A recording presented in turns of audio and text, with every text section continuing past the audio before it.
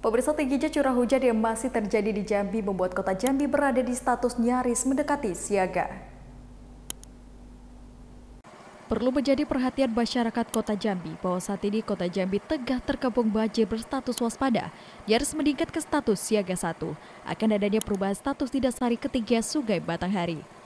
Dari keterangan Kepala Dinas Damkar dan Penyelamatan Kota Jambi Mustadir Afandi, ketinggian sungai Batanghari saat ini di level 14,38 meter. Status siaga 1 akan diterbitkan jika ketinggian sudah berada di 15,50 meter. Angka ini dipantau berkala melalui menara pintu air yang berada di pinggiran Sungai Batanghari, Kota Jambi.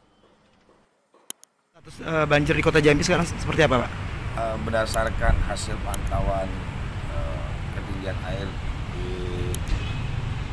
ICW dan di Ancol, untuk ketinggian air sekarang 14 1,38 meter.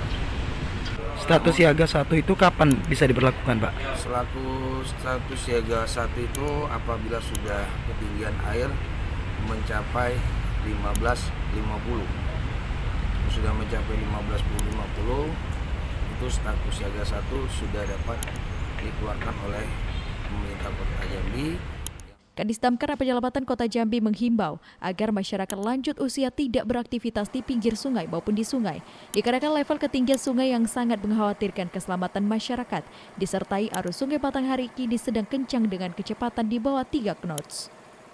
Doli Baulana, Jambi TV.